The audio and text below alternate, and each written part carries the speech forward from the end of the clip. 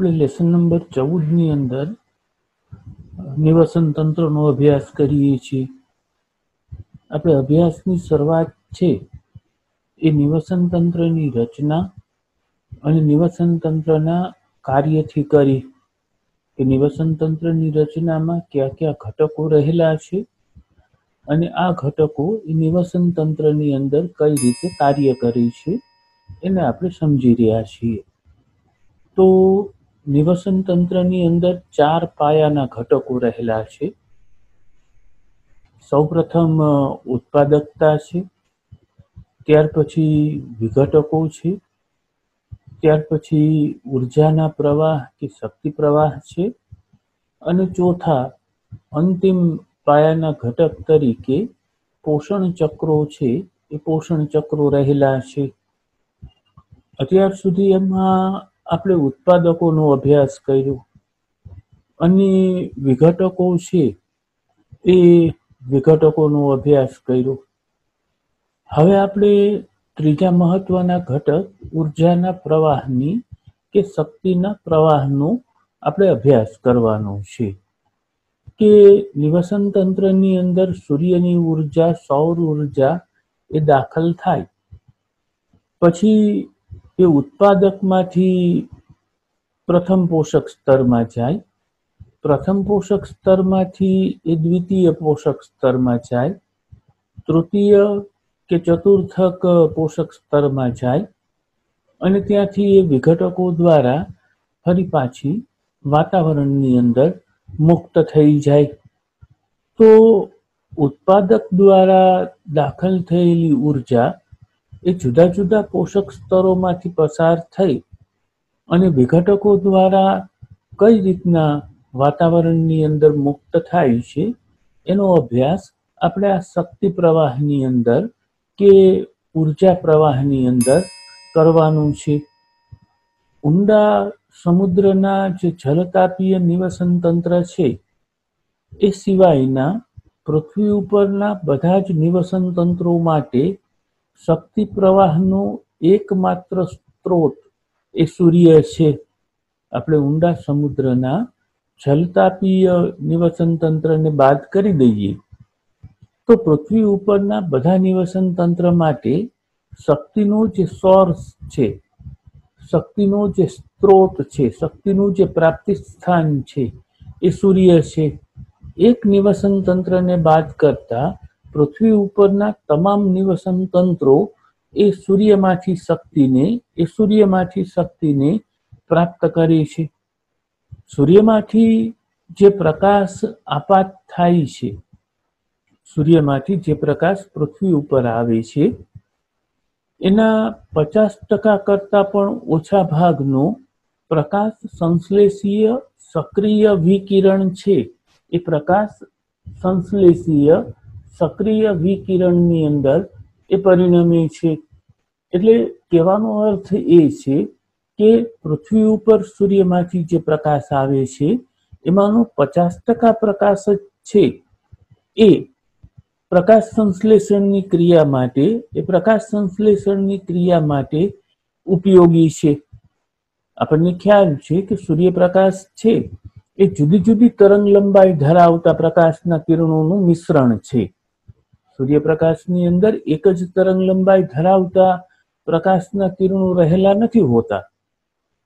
વિવિધ પ્રકારની તરંગ લંબાઈ ધરાવતા પ્રકાશના કિરણો છે, એ રહેલા છે એટલે સૂર્ય ઉપર જેટલો પ્રકાશ આવે, એમાંથી પચાસ ટકા પ્રકાશ છે, એ એમાંથી પચાસ ટકા પ્રકાશ છે, એ જ પ્રકાશ સંશ્લેષણ માટે ઉપયોગી થઈ શકે એવો હોય છે, જેને ટૂંકમાં પાર તરીકે ફોટો, ફોટોસિન્થેટિકલી એક્ટિવ રેડિયેશન તરીકે એને પાર તરીકે એટલે કે પ્રકાશ સંશ્લેષીય સક્રિય વિકિરણ તરીકે ઓળખવામાં આવે.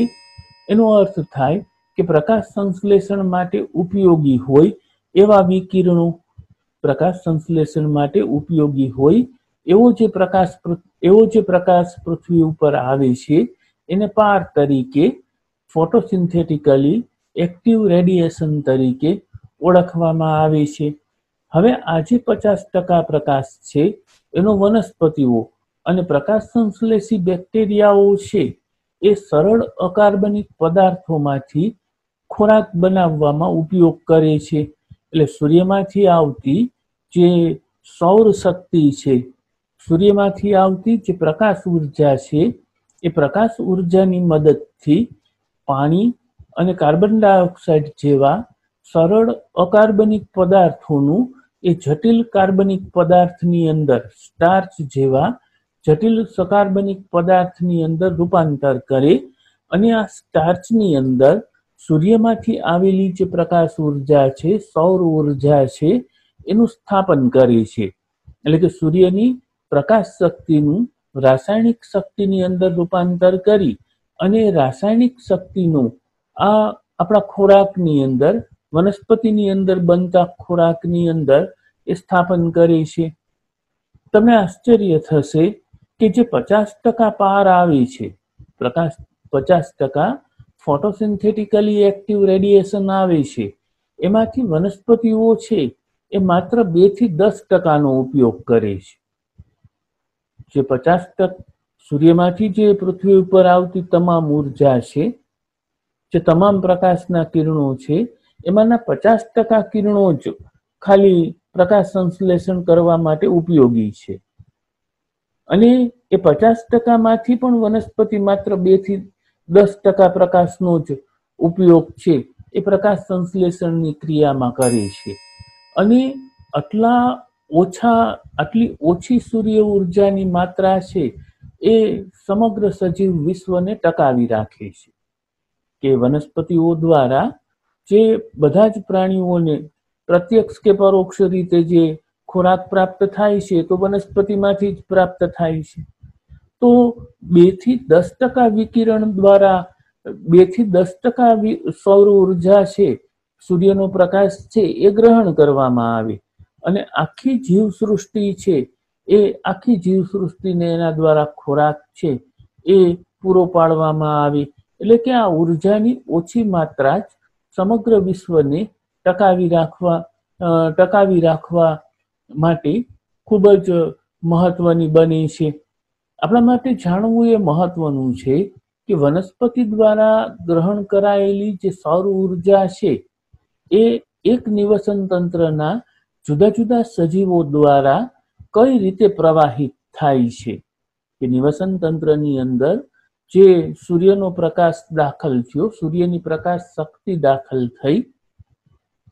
એ સૂર્યની પ્રકાશ શક્તિ નિવસન તંત્રની અંદર રહેલા જે અનેક સજીવો છે, અનેક પ્રાણીઓ છે, એમાં કઈ રીતે દાખલ થાય છે?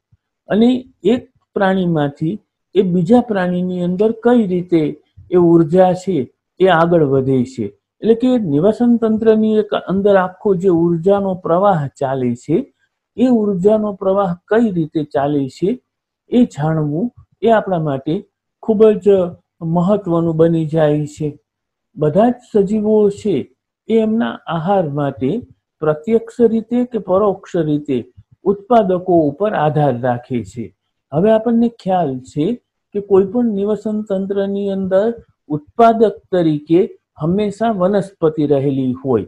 કોઈ પણ નિવસન તંત્ર આપણે, પૃથ્વી ઉપરનું કોઈ પણ નિવસન તંત્ર આપણે લઈ લઈએ, તો એમાં ઉત્પાદક તરીકે હંમેશા વનસ્પતિ જ રહેલી હશે. એટલે કે બધા જ સજીવો એમના આહાર માટે પ્રત્યક્ષ કે પરોક્ષ રીતે ઉત્પાદકો ઉપર આધાર રાખે છે. એટલે આપણે જોઈ શકીએ છીએ કે ઉર્જાનો પ્રવાહ સૂર્યમાંથી ઉત્પાદકો તરફ જાય અને ઉત્પાદકોમાંથી એ ઉપભોક્તાઓ જે છે કન્ઝ્યુમર્સ જે છે, એને વનસ્પતિને વાપરનારાઓ જે છે, એના તરફ એક જ દિશાની અંદર, એના તરફ એક જ દિશાની અંદર જાય. એટલે કે શક્તિનો પ્રવાહ છે એ ઉત્પાદકથી ઉપભોગી તરફ જાય. ક્યારેય શક્તિનો પ્રવાહ છે એ ઉલટો ન આવે. કે ઉપભોગીમાંથી ઉત્પાદકની અંદર શક્તિનો પ્રવાહ આવે એવું નિવસન તંત્રની અંદર છે એ ન બની શકે. એટલે નિવસન તંત્રની અંદર હંમેશા ઉર્જાનો પ્રવાહ, હંમેશા શક્તિનો પ્રવાહ છે એ એક દિશાની અંદર, એ એક દિશાની અંદર. એટલે કે નીચેથી ઉપરની તરફ જ, નીચેથી ઉપરની તરફ જ હોય, ક્યારેય ઉપરથી નીચેની તરફ છે એ હોતો નથી. આ ઉપરાંત નિવસન તંત્ર છે એ ઉષ્માગતિકીના બીજા નિયમથી મુક્ત નથી. આ ઉપરાંત નિવસન તંત્રને પણ થર્મોડાયનેમિક્સનો જે બીજો નિયમ છે, એ બીજો નિયમ લાગુ પડે છે કે ઊર્જા જ્યારે એક પોષક સ્તરમાંથી બીજા પોષક સ્તરની અંદર જાય, ત્યારે હંમેશા પ્રાપ્ત થતું ઊર્જા છે, એના મૂલ્યની અંદર ઘટાડો થાય. કે આ વિશ્વની અંદર વિશ્વની કુલ શક્તિ છે એ હંમેશા અચળ રહે છે. કેમ કે શક્તિનું જ્યારે એક સ્વરૂપમાંથી બીજા સ્વરૂપની અંદર રૂપાંતર થાય, ત્યારે હંમેશા પ્રાપ્ત થતી શક્તિનું મૂલ્ય છે એ ઘટી જાય. માનો કે વનસ્પતિ છે એ ઉત્પાદક છે. અને વનસ્પતિની અંદર આપણે એમ માનીએ કે સો ટકા શક્તિ છે એ રહેલી છે. તો વનસ્પતિનો ઘાસ ખાનારા પ્રાણીઓ છે એ ખોરાક તરીકે ઉપયોગ કરે. ત્યારે ઘાસ ખાનારા પ્રાણીઓને જે શક્તિ મળે એ વનસ્પતિમાં રહેલી જે શક્તિ છે એની માત્ર સાઠ ટકા શક્તિ જ મળે. એટલે કે ચાલીસ ટકા શક્તિ છે એનો વાતાવરણની અંદર ઉષ્મા સ્વરૂપે વ્યય થઈ ગયો. હવે આ ઘાસ ખાનારા પ્રાણીઓ જે છે, પછી બકરી હોય, હરણ હોય કે સસલું હોય એનો નાના શિકારી પ્રાણીઓ છે, એ ખોરાક તરીકે ઉપયોગ કરે. ત્યારે એ પ્રાણીઓની અંદર રહેલી જે સાઠ ટકા શક્તિ છે, એમાંથી નાના શિકારી પ્રાણીઓને માત્ર ત્રીસ ટકા શક્તિ છે, એ ત્રીસ ટકા શક્તિ પ્રાપ્ત થાય. અને નાના શિકારી પ્રાણીઓનો જ્યારે મોટા શિકારી પ્રાણીઓ ખોરાક તરીકે ઉપયોગ કરે, ત્યારે એને માત્ર દસ ટકા શક્તિ છે એ દસ ટકા શક્તિ પ્રાપ્ત થાય. તો શક્તિ એક પોષક સ્તરમાંથી બીજા પોષક સ્તરમાં જાય ત્યારે પહેલે તબક્કે ચાલીસ ટકાનો ઘટાડો આવે. પછી બીજા પોષક સ્તરમાંથી એ ત્રીજા પોષક સ્તરમાં જાય ત્યારે ત્રીસ ટકાનો ઘટાડો આવે. અને ત્રીજા પોષક સ્તરમાંથી એ ચોથા પોષક સ્તરમાં જાય ત્યારે પાછો વીસ ટકાનો ઘટાડો છે. એ વીસ ટકાનો ઘટાડો આવે. એટલે શક્તિ એક પોષક સ્તરમાંથી બીજા પોષક સ્તરની અંદર જાય, બીજા પોષક સ્તરમાંથી ત્રીજા પોષક સ્તરની અંદર જાય, ત્યારે હંમેશા પ્રાપ્ત થતી શક્તિનું મૂલ્ય છે.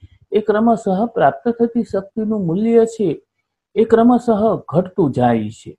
એટલે કે ત્યાં થર્મોડાયનેમિક્સનો બીજો નિયમ છે. એ થર્મોડાયનેમિક્સનો બીજો નિયમ છે. એ લાગુ પડે છે. સજીવોની અંદર જુદા જુદા પ્રકારની જૈવિક ક્રિયાઓ છે. એ ચાલતી હોય. અને આ જૈવિક ક્રિયાઓ દરમિયાન જુદા જુદા જે જૈવિક અણુઓ છે, એનું સંશ્લેષણ થતું હોય. જુદા જુદા જૈવિક અણુઓનું સર્જન થતું હોય કે જુદા જુદા જૈવિક અણુઓનું નિર્માણ થતું હોય.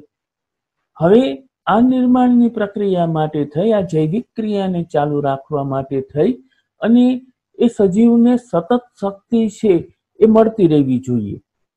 જો સજીવને શક્તિ મળતી બંધ થઈ જાય, તો આ જૈવિક અણુઓનું સર્જન, સંશ્લેષણ, ઉત્પાદન છે, એ બંધ થઈ જાય. અને એ બંધ થઈ જાય તો આખી જૈવિક ક્રિયા અટકી પડે. જૈવિક ક્રિયા બંધ પડી જાય. અને સજીવ છે, એ સજીવ મૃત્યુ પામી. બીજી રીતે કહીએ તો જો બહારથી ઊર્જા ન મળે, ખોરાક દ્વારા ઊર્જા છે, એ ન મળે તો આ જે જૈવિક ક્રિયાઓ છે, જૈવિક અણુઓના સંશ્લેષણની જે પ્રક્રિયા છે, એની અંદર અવ્યવસ્થા ઊભી થાય. એની અંદર અવ્યવસ્થા ઊભી થાય. અને અવ્યવસ્થા છે એને એન્ટ્રોપી તરીકે ઓળખવામાં આવે. આ અવ્યવસ્થાને એન્ટ્રોપી તરીકે ઓળખવામાં આવે. દરેક સજીવના તંત્રની અંદર એક અવ્યવસ્થા રહેલી હોય. આ અવ્યવસ્થાનું જે માપ છે એ અવ્યવસ્થાના માપની એન્ટ્રોપી તરીકે ઓળખવામાં આવે.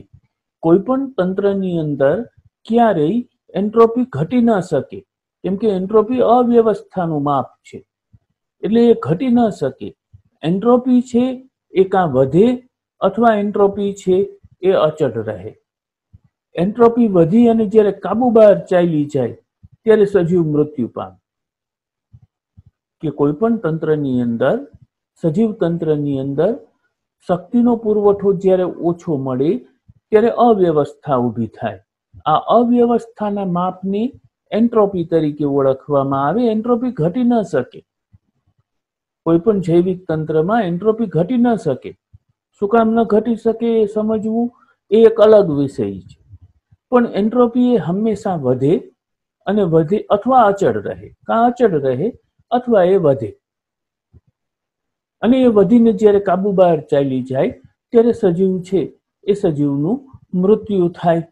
તો વધતી જતી જે એન્ટ્રોપી છે, એટલે વધતું જતું અવ્યવ, અવ્યવસ્થાપન છે, અહીંયા એને એન્ટ્રોપી શબ્દ પ્રયોગ નથી કર્યો, પણ એને બદલે એને વધતું વધતું જતું અવ્યવસ્થાપન એવો શબ્દ પ્રયોગ કર્યો છે, જે એન્ટ્રોપીનો સૂચક શબ્દ છે. તો એન્ટ્રોપીની સામે સંકલિત કાર્ય પદ્ધતિ દ્વારા એ સંઘર્ષ છે એ કરી શકે છે. કે સજીવોને બહારથી સતત ઊર્જા મળતી રહે તો એ વધતી જતી એન્ટ્રોપી છે, વધતા જતા અવ્યવસ્થાપન સામે કે એન્ટ્રોપી સામે એક સંકલિત કાર્ય પદ્ધતિથી સંઘર્ષ છે. એ સંઘર્ષ કરી શકે છે. નિવસન તંત્રની અંદર લીલી વનસ્પતિ છે. એ લીલી વનસ્પતિને ઉત્પાદક તરીકે ઓળખવામાં આવી. આપણે શરૂઆતમાં જ વાત કરી કે કોઈ પણ નિવસન તંત્રની અંદર હંમેશા ઉત્પાદક તરીકે વનસ્પતિ જ હંમેશા ઉત્પાદક તરીકે વનસ્પતિ છે, એ રહેલી હોય. એટલે નિવસન તંત્રમાં રહેલી લીલી વનસ્પતિઓને ઉત્પાદક તરીકે ઓળખવામાં આવે. સ્થળ જ નિવસન તંત્ર છે, જમીન ઉપરનું જે નિવસન તંત્ર છે, એમાં સાકીય વનસ્પતિ કાષ્ઠીય વનસ્પતિ એ મુખ્ય ઉત્પાદક છે. એમાં શાકીય વનસ્પતિ અને કાષ્ઠીય વનસ્પતિ છે એ મુખ્ય ઉત્પાદક છે. જ્યારે જલજ નિવસન તંત્ર છે, એમાં વનસ્પતિ પ્લવકો એટલે કે ફાઇટોપ્લેન્કટોન લીલ અને જલીય વનસ્પતિની જુદી જુદી જાતિઓ છે એ ઉત્પાદક છે. એટલે કે આપણે સ્થળજ નિવસન તંત્ર લઈ લઈએ કે જલજ નિવસન તંત્ર લઈ લઈએ? ઉત્પાદક તરીકે હંમેશા કોઈ પણ નિવસન તંત્રની અંદર વનસ્પતિ છે એ જ રહેલી હોય. વનસ્પતિ જ હંમેશા પ્રોડ્યુસર વનસ્પતિ જ હંમેશા પ્રોડ્યુસર તરીકે અથવા ઉત્પાદક તરીકે કાર્ય કરે. તમે કદાચ આહાર શૃંખલા અને આહાર ઝાડ વિશે જાણતા હશો. આહાર નિવસન તંત્રની અંદર એક આહાર શૃંખલા રહેલી હોય. એટલે કે પેલા ઉત્પાદક છે ઉત્પાદક આવે, એટલે વનસ્પતિ આવે, પછી એ વનસ્પતિને ખાવાવાળા તૃણાહારી પ્રાણીઓ છે તૃણાહારી પ્રાણીઓ આવે, એટલે વનસ્પતિ, એની ઉપર તૃણાહારી પ્રાણી, એ તૃણાહારી પ્રાણીને ખાનારા નાના શિકારી પ્રાણીઓ છે એ નાના શિકારી પ્રાણીઓ આવે એટલે જો શૃંખલા બનતી જાય છે કે પેલા વનસ્પતિ આવી, પછી તૃણાહારી પ્રાણીઓ આવ્યા, તૃણાહારી પ્રાણીઓની ઉપર નાના શિકારી પ્રાણીઓ આવ્યા, આ નાના શિકારી પ્રાણીઓની ઉપર પાછા મોટા શિકારી પ્રાણીઓ છે, મોટા શિકારી પ્રાણીઓ આવ્યા. અને મોટા શિકારી પ્રાણીઓની ઉપર પછી વિઘટકો આવ્યા. તો વિઘટકો છે, એને મોટા શિકારી પ્રાણીઓમાંથી આહાર મળે છે. મોટા શિકારી પ્રાણીઓ છે એને નાના શિકારી પ્રાણીઓમાંથી આહાર મળે છે. નાના શિકારી પ્રાણીઓ છે એને તૃણાહારી પ્રાણીઓમાંથી આહાર મળે છે. અને તૃણાહારી પ્રાણીઓ છે એને ઉત્પાદક તરીકે રહેલી જે વનસ્પતિ છે એ વનસ્પતિમાંથી પોતાનો આહાર છે, ખોરાક છે એ મળે છે. તો એક આખી શૃંખલા રચાણી. આહાર માટેની, ખોરાક માટેની એક આખી શૃંખલા રચાણી.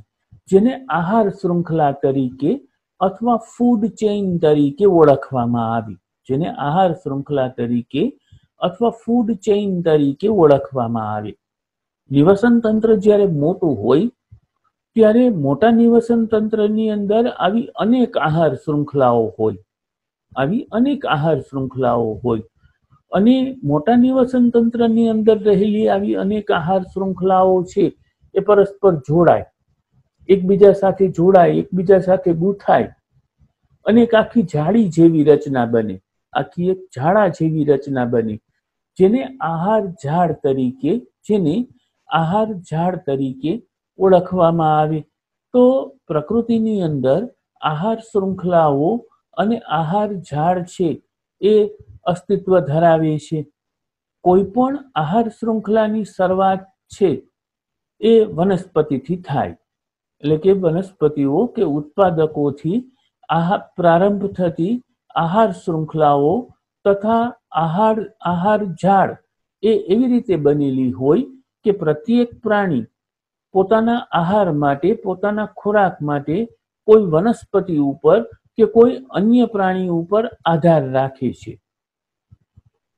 આહાર શૃંખલાની અંદર કે આહાર ઝાડની અંદર પ્રત્યેક પ્રાણી એ પોતાના ખોરાક માટે કા વનસ્પતિ ઉપર આધાર રાખતું હોય અથવા અન્ય પ્રાણી ઉપર આધાર રાખતું હોય.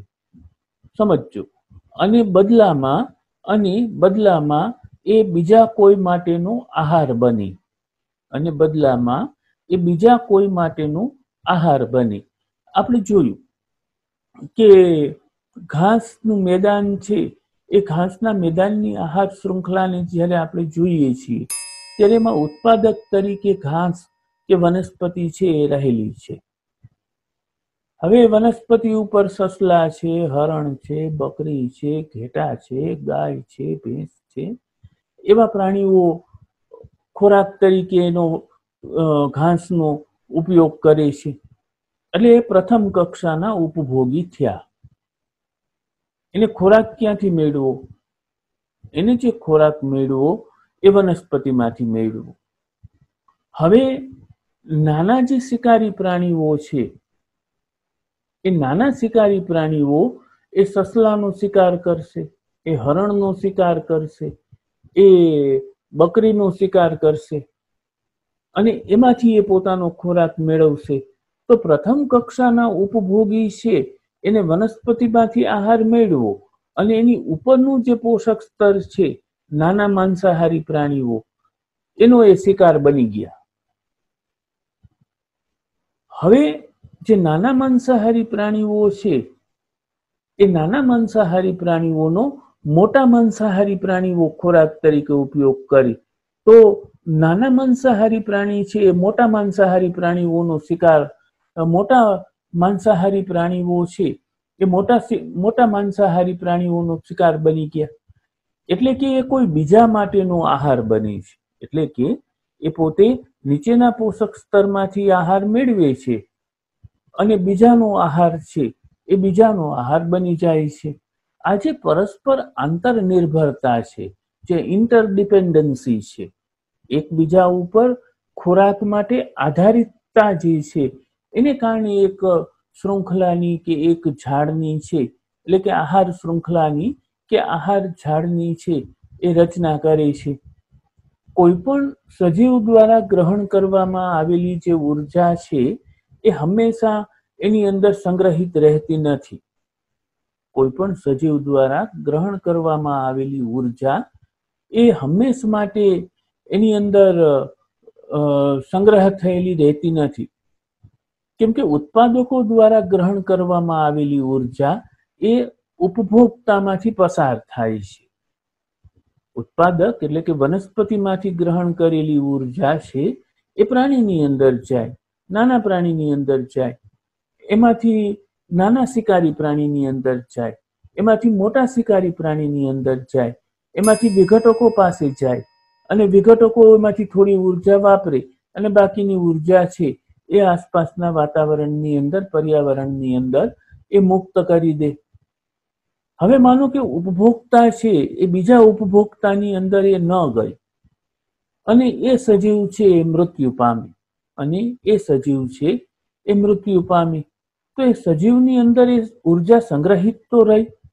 એટલે કે એ સજીવના મૃત્યુથી જે મૃત ઘટકો છે, એ મૃત ઘટકોની આહાર શૃંખલા કે આહાર ઝાડની શરૂઆત થાય. મૃત ઘટકોની અંદર એ ઊર્જા રહી ગઈ. એટલે વિઘટકો છે, બેક્ટેરિયા છે, ફૂગ છે, કસાધારીઓ છે, એ ત્યાં પહોંચી જશે. એનું વિઘટન કરવાની શરૂઆત કરશે. અને એક આખી નવી આહાર શૃંખલા છે. મૃત અવશેષીય ઘટકોની આહાર શૃંખલા છે. એની શરૂઆત થશે. બધા જ પ્રાણીઓ એમની આહારની જરૂરિયાત માટે પ્રત્યક્ષ રીતે કે પરોક્ષ રીતે, સીધી રીતે કે આડકતરી રીતે વનસ્પતિઓ ઉપર આધારિત છે. એટલે એને ઉપભોક્તા તરીકે કન્ઝ્યુમર તરીકે, એને ઉપભોક્તા તરીકે કે કન્ઝ્યુમર તરીકે ઓળખવામાં આવે. અથવા એને વિષમપોષી કે પરપોષી તરીકે પણ ઓળખવામાં આવે. એ સ્વયંપોષી નથી. એ પોતાનો ખોરાક પોતાની જાતે નથી બનાવી શકતા. એ પરપોષી છે. પર એટલે બીજા. એને બીજા ઉપર પોતાના ખોરાક માટે, પોતાના પોષણ માટે આધાર રાખવો પડે છે. એટલે કે પરપોષી છે. એટલે ઉપભોક્તાઓ છે એ હંમેશા વિષમપોષી હોય અથવા હંમેશા પરપોષી હોય. માત્ર ઉત્પાદક છે, વનસ્પતિ છે, એ જ સ્વયંપોષી છે, એ જ સ્વયંપોષી છે, એ હોય. તો જે આહાર માટે ઉત્પાદકો કે વનસ્પતિઓ ઉપર નિર્ભર હોય ત્યારે એને પ્રાથમિક ઉપભોક્તા તરીકે ઓળખવામાં આવે. એટલે પ્રાણીઓ છે એ હંમેશા પ્રાથમિક ઉપભોક્તાઓ છે, પ્રાણીઓ છે, એ હંમેશા પ્રાણીઓ છે, એ હંમેશા પ્રાથમિક ઉત્પાદ, ઉપભોક્તાઓ છે પ્રાઇમરી કન્ઝ્યુમર છે, કે જેઓ વનસ્પતિ ને વનસ્પતિનો ખોરાક તરીકે ઉપયોગ કરે છે. અને એનો ખોરાક તરીકે પાછા બીજા પ્રાણીઓ ઉપયોગ કરે. એટલે બીજા પ્રાણીઓ છે, એને દ્વિતીય ઉપભોક્તા તરીકે ઓળખવામાં આવે. આ રીતે તૃતીય ઉપભોક્તાઓ છે, એ તૃતીય ઉપભોક્તાઓ પણ હોઈ શકે. એટલે આપણે જંગલના નિવસન તંત્રની વાત કરી કે જેમાં ઘાસના મેદાનો રહેલા છે. એ ઘાસના મેદાનમાં વનસ્પતિ, ઘાસ એ ઉત્પાદક છે. એનો બકરીઓ, સસલા, હરણ એ ખોરાક તરીકે ઉપયોગ કરે છે. એટલે બકરી, સસલા અને હરણ છે એ પ્રાથમિક ઉપભોક્તા છે, એ પ્રાઇમરી કન્ઝ્યુમર છે. એનો નાના શિકારી પ્રાણીઓ ખોરાક તરીકે ઉપયોગ કરે છે. આ બકરીનો, આ સસલાનો, આ હરણનો નાના શિકારી પ્રાણીઓ ખોરાક તરીકે ઉપયોગ કરે. એટલે નાના શિકારી પ્રાણીઓ છે, એ દ્વિતીય ઉપભોક્તા થયા. એ સેકન્ડરી કન્ઝ્યુમર થયા. નાના શિકારી પ્રાણીઓ છે, એનો મોટા શિકારી પ્રાણીઓ ખોરાક તરીકે ઉપયોગ કરે. એટલે મોટા શિકારી પ્રાણીઓ થયા. એ તૃતીય ઉપભોગીઓ થયા, જેને ટર્સરી જેને ટર્સરી કન્ઝ્યુમર તરીકે ઓળખવામાં આવે. તો પેલા પ્રોડ્યુસર હોય, પ્રોડ્યુસરની ઉપર પ્રાઇમરી કન્ઝ્યુમર હોય, પ્રાઇમરી કન્ઝ્યુમરની ઉપર સેકન્ડરી કન્ઝ્યુમર હોય, અને સેકન્ડરી કન્ઝ્યુમર છે, એની ઉપર ટર્સરી કન્ઝ્યુમર હોય, અને ટર્સરી કન્ઝ્યુમર છે, એની ઉપર એની ઉપર ડીકમ્પોઝર છે, વિઘટકો કે ડીકમ્પોઝર છે, એ ડીકમ્પોઝર એ રહેલા હોય. તો પ્રાથમિક તો પ્રાણી પ્રાણીઓ ઉપભોક્તાઓ છે. એ ઉપભોક્તાઓમાં પ્રાથમિક ઉપભોક્તા હોય. એ પ્રાથમિક ઉપભોક્તાઓ વનસ્પતિનો ખોરાક તરીકે ઉપયોગ કરે. એના બીજા, એને બીજા પ્રાણીઓ ખાય. એટલે એને દ્વિતીય ઉપભોક્તાઓ કહેવાય. અને એને પાછી ત્રીજા પ્રાણીઓ ખાય. એટલે તૃતીય ઉપભોક્તા છે. એ તૃતીય ઉપભોક્તા પણ હોય, પણ એટલી વસ્તુ નક્કી છે કે પ્રાથમિક ઉપભોક્તાઓ છે એ હંમેશા શાકાહારી હોય. પ્રાથમિક ઉપભોક્તા છે એ હંમેશા તૃણાહારી હોય. એને હંમેશા વનસ્પતિમાંથી શક્તિ છે એ પ્રાપ્ત થતી હોય. તો પ્રાથમિક ઉપભોક્તા એ હંમેશા શાકાહારી હોય. અને એની ઉપરના જે ઉપભોક્તાઓ છે સેકન્ડરી ટર્સરી એ હંમેશા માંસાહારી હોય. એ હંમેશા માંસાહારી છે, એ માંસાહારી હોય. આપણે જલજ નિવસન તંત્રની વાત કરીએ, તો જલજ નિવસન તંત્રમાં મૃદુકાય પ્રાણીઓ છે. અને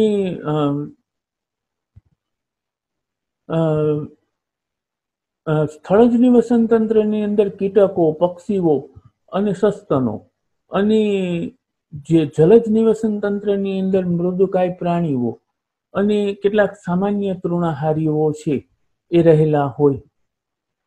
ઉપભોક્તાઓ કે જે આ તૃણાહારીનો આહાર તરીકે ઉપયોગ કરે છે એવો માંસાહારી હોય. એને એને પ્રાથમિક માંસાહારી તરીકે ઓળખવામાં આવે. જે પ્રાણીઓ જે આહાર માટે પ્રાથમિક માંસાહારીઓ ઉપર આધાર રાખે, એને દ્વિતીયક માંસાહારી તરીકે ઓળખવામાં આવે. આપણે એક પ્રાણીઓ ચરતા હોય પ્રાણીઓ ચરતા હોય. એવી આહાર શૃંખલા છે એનો અભ્યાસ કરીએ. એટલે કે એક સરળ ચરીય આહાર શૃંખલા ગ્રેઝિંગ ટુ ગ્રેઝ એટલે ચરવું. ગ્રેઝિંગ ફૂડ ચેઇન છે, જેને જીએફસી તરીકે ઓળખવામાં આવે. એનો આપણે અભ્યાસ કરીએ. કે તૃણ કે ઘાસ છે ઉત્પાદક છે. એ ઘાસને બકરી ખાય છે. તો બકરી છે, એ પ્રાથમિક ઉપભોક્તા છે. આપણને ખ્યાલ છે કે મનુષ્ય છે, એ મનુષ્ય મિશ્રાહારી છે. કેટલાક મનુષ્ય છે, એ વનસ્પતિનો આહાર તરીકે ઉપયોગ કરે છે, તો કેટલાક જે માંસાહારી ખોરાકનો ઉપયોગ કરે છે. તો જે માંસાહારી છે, એ દ્વિતીય, માંસાહારી મનુષ્ય છે, એ દ્વિતીય ઉપભોક્તા, એ દ્વિતીય ઉપભોક્તા છે. તો આવી રીતે ચરીય આહાર આવી રીતે ચરીય આહાર શૃંખલા છે. એ ચરીય આહાર શૃંખલાનું નિર્માણ થાય છે. આપણે સ્થળ જ આહાર શૃંખલાનો અભ્યાસ કર્યો. એટલે કે આપણે સ્થળ જ નિવસન તંત્રની અંદર શક્તિનો પ્રવાહ કઈ રીતના પસાર થાય છે એકમાંથી બીજામાં, બીજામાંથી ત્રીજામાં, ત્રીજામાંથી ચોથામાં એ આપણે જોયું. પણ બીજી પણ એક મહત્વની આહાર શૃંખલા છે, એ મૃત અવશેષીય આહાર શૃંખલા છે, જેને ડીએફસી તરીકે, જેને ડીએફસી તરીકે ઓળખવામાં આવે. આ મૃત અવશેષીય આહાર શૃંખલા પણ મહત્વની છે કે પ્રાણીઓ જ્યારે મૃત્યુ પામી, ત્યારે એના દેહના જે મૃત અવશેષો છે, એ એના દેહના મૃત અવશેષોમાંથી એક નવી આહાર શૃંખલા છે. એની શરૂઆત થાય છે. તો આ જે આહાર શૃંખલા છે એ મૃત કાર્બનિક દ્રવ્યોથી, એ મૃત કાર્બનિક દ્રવ્યોથી શરૂ થાય છે. કેમ કે જે પ્રાણી મૃત્યુ પામ્યું, એના જે મૃતદેહના અવશેષો છે, એની અંદર કાર્બનિક સંયોજનો એ રહેલા છે.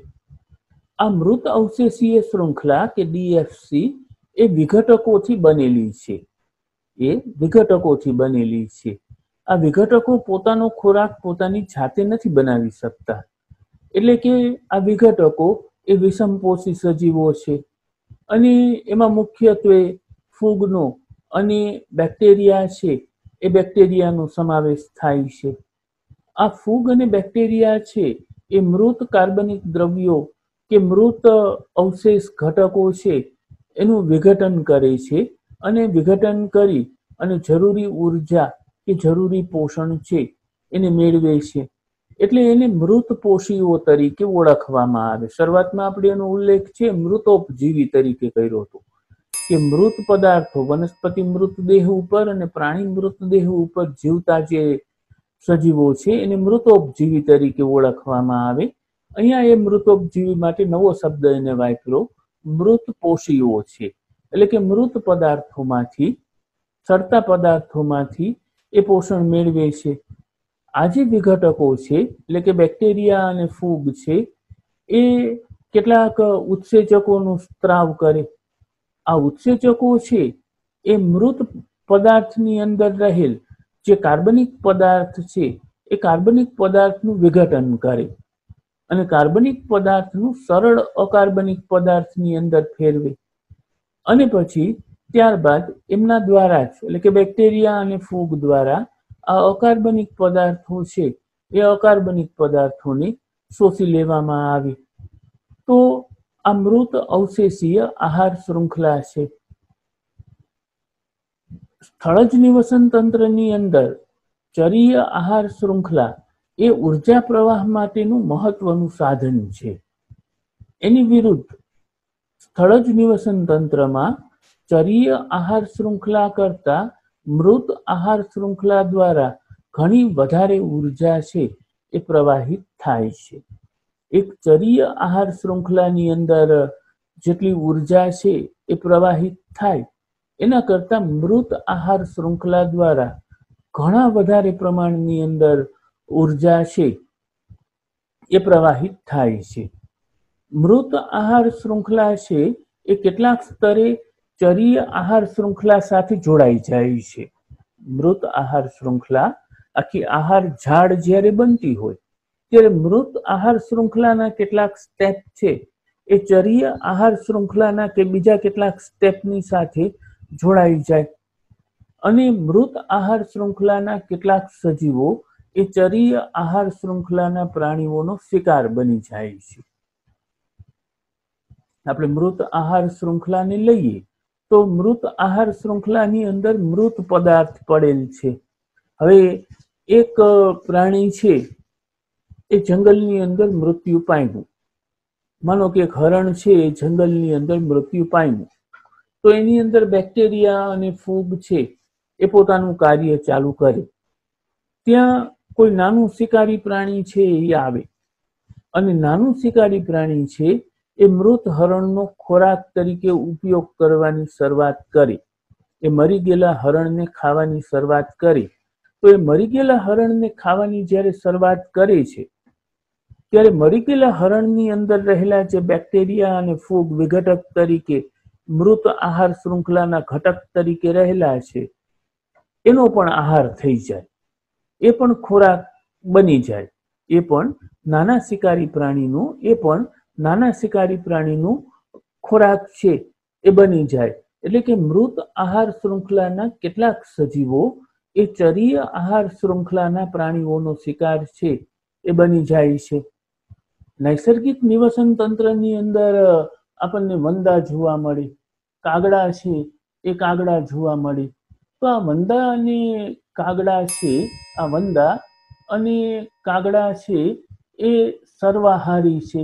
એ ઓમનિવોરસ છે, સર્વભક્ષી છે, એ વનસ્પતિને પણ ખાય અને પ્રાણીને પણ ખાય.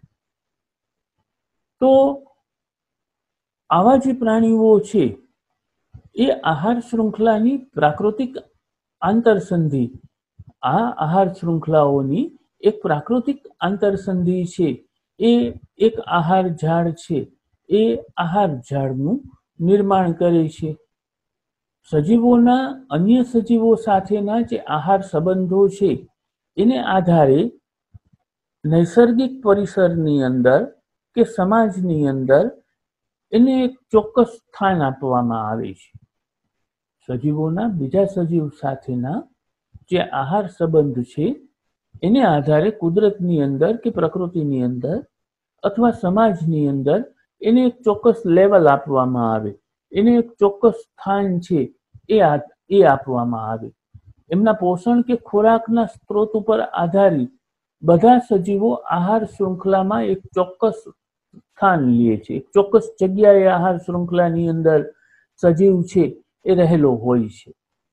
અને આ જે ચોક્કસ સ્થાન છે, ચોક્કસ લેવલ છે, એને પોષક સ્તર તરીકે, એને પોષક સ્તર તરીકે ઓળખવામાં આવે. ઉત્પાદક છે એ હંમેશા પ્રથમ પોષક સ્તરે આવે. નિવસન તંત્રની અંદર ઉત્પાદક છે, એ હંમેશા પ્રથમ પોષક સ્તરે આવે. પછી વનસ્પતિનો ઘાસનો જે ખોરાક તરીકે ઉપયોગ કરે છે, એ તૃણાહારીઓ છે, એ તૃણાહારીઓ એ તૃણાહારીઓ છે, એ દ્વિતીય પોષક સ્તરે આવે. પછી એના ઉપર રહેલા જે નાના માંસાહારી પ્રાણીઓ છે, એ તૃતીય પોષક સ્તરે આવે. પછી એના ઉપર રહેલા મોટા માંસાહારી પ્રાણીઓ છે, એ ચતુર્થ પોષક સ્તર છે. એ ચતુર્થ પોષક સ્તરે આવે. આ જે વાત છે આ જે ઘટના છે, એને સમજાવવા માટે થઈ, એને સમજાવવા માટે થઈ. અને એને અહીંયા એક આ ટેબલ છે, એ ટેબલ કે ચાર ટાઈપો કે પ્રાથમિક ઉત્પાદક તરીકે વનસ્પતિઓ રહેલી હોય. અને વનસ્પતિઓ છે, એ પ્રથમ પોષક સ્તરે આવે.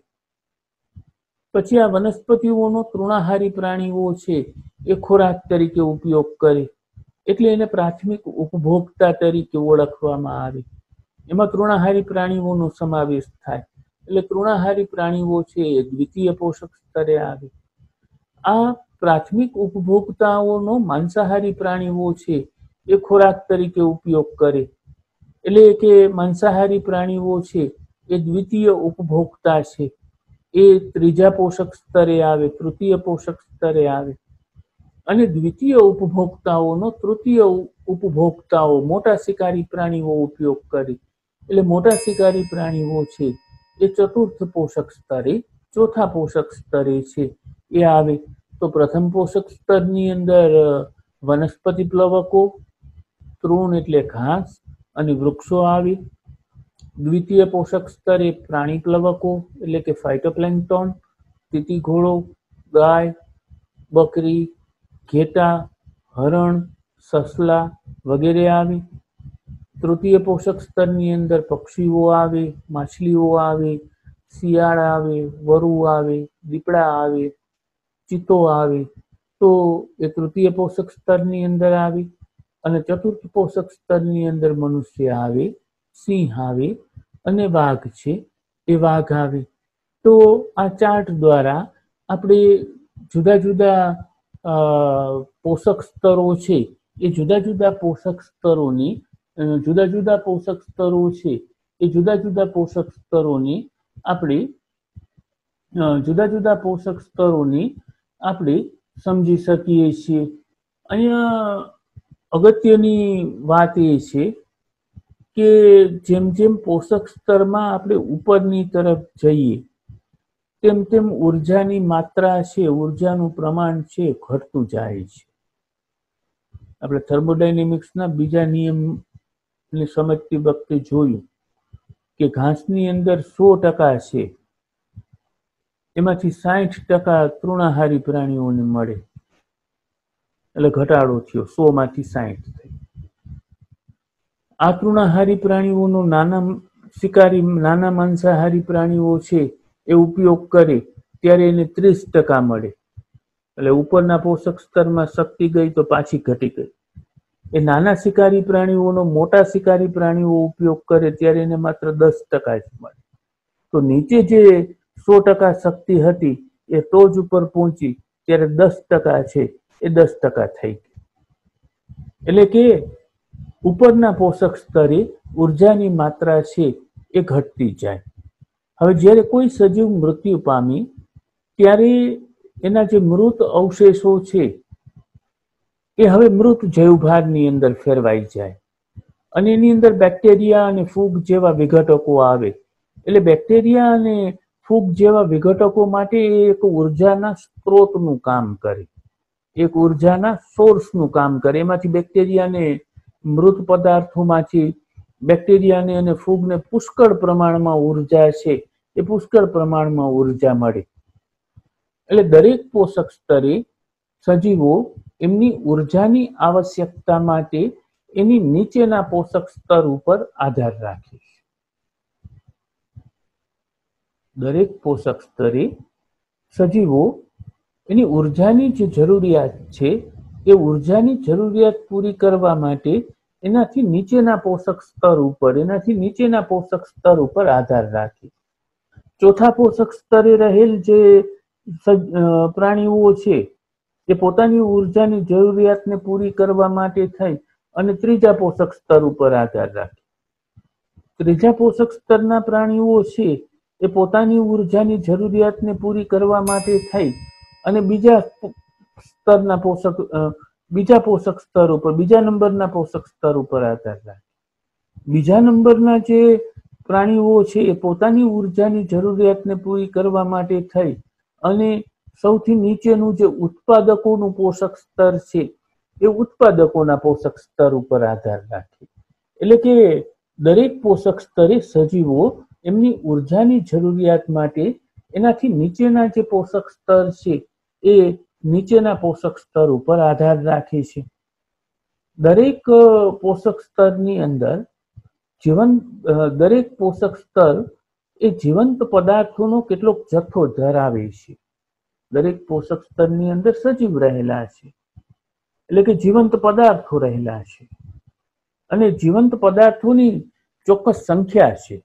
એટલે કે એનો એક ચોક્કસ જથ્થો છે. એટલે દરેક પોષક સ્તર એક ચોક્કસ સમયે જીવંત પદાર્થોનો કેટલોક જથ્થો ધરાવે છે, જેને પ્રાપ્ય પાક તરીકે સ્ટેન્ડિંગ ક્રોપ તરીકે ઓળખવામાં આવે.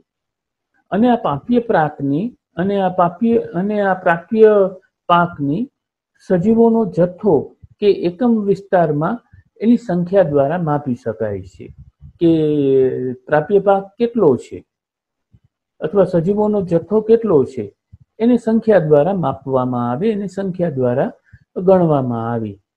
એક જાતિના જૈવભારને એને તાજા કે શુષ્ક વજનના શબ્દોમાં અભિવ્યક્ત કરવામાં આવી કે એક હરણની જાતિ આપણે લઈ લઈએ અને હરણની જાતિની અંદર કેટલો સંગ્રહિત ખોરાક છે, એટલે કે કેટલો જૈવભાર છે, એ એના શુષ્ક વજન કે તાજા વજનથી એને એને માપવામાં આવે, એને અભિવ્યક્ત છે, એ અભિવ્યક્ત કરવામાં આવી. ચરીય આહાર શૃંખલાની અંદર પોષક તત્વોની સંખ્યા છે એ મર્યાદિત હોય. ચરીય આહાર શૃંખલાની અંદર ક્યારેય ચાર કે પાંચ પોષક સ્તરો છે એ જોવા ન મળે. એમાં હંમેશા પોષક સ્તરોની સંખ્યા છે એ ઓછી હોય. એટલે એમાં ઉર્જાના પ્રવાહનું સ્થળાંતર છે એ દસ ટકા કરતાં પણ ઓછું હોય. જેમ પોષક સ્તર ઓછા એમ ઉર્જાના પ્રવાહનું સ્થળાંતર પણ ઓછું થાય.